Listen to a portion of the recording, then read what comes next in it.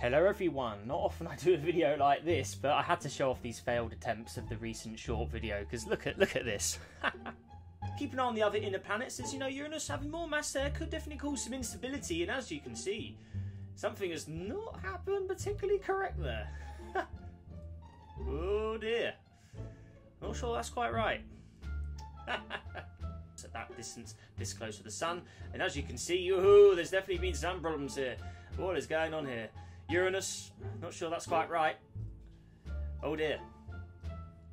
There's definitely something weird with these orbits, isn't there? Doesn't like having Uranus in the hosts in the game.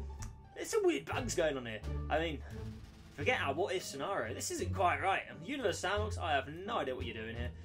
I don't know how Uranus can suddenly just be ejected by its own moons. I don't know. I don't think the other inner planets caused that problem. To me, that looks like it was the moons causing that. Venus, Earth, Mars, they didn't have any changes, so there's something not quite right with Uranus's moons, causing it to be ejected in this scenario. That is really, really weird. I mean, this isn't a short I'd normally do, showing the fails, but